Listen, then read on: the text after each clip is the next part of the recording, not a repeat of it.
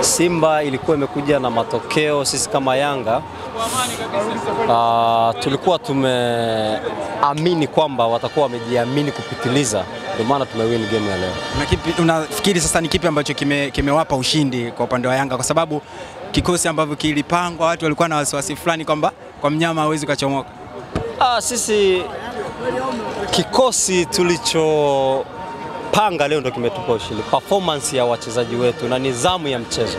Tunaheshimu football, football ndo imetufanya tumeshinda leo. Tumeheshimu mpira ndo tumepata matokeo. Eh, Bwana, pembeni yako naona solangeningeni kidogo kwa timu kama za Yanga na Simba tujazoea zoea sana kuviona vitu, pengine Ah, yeye ni shabiki ameanza lini na kwa nini Yanga sio Simba?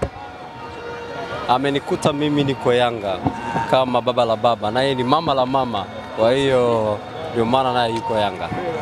Ndani ya miaka mitatu sasa hivi anashabikia after almost like five years and today he gets another win in the derby, derby match. How do you see it as a Yanga fan? Uh, well, I'm very happy to be here to see this today. Yes.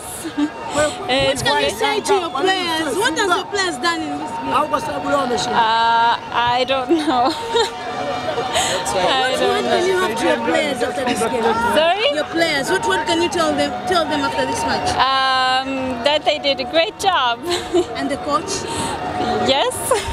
Winning a derby like a Manchester derby, uh, something like that. You as a, a fan, how do you feel it winning a, a derby match, a, a, a derby that more than five years younger failed to get a winning certain yeah. I mean, it's great.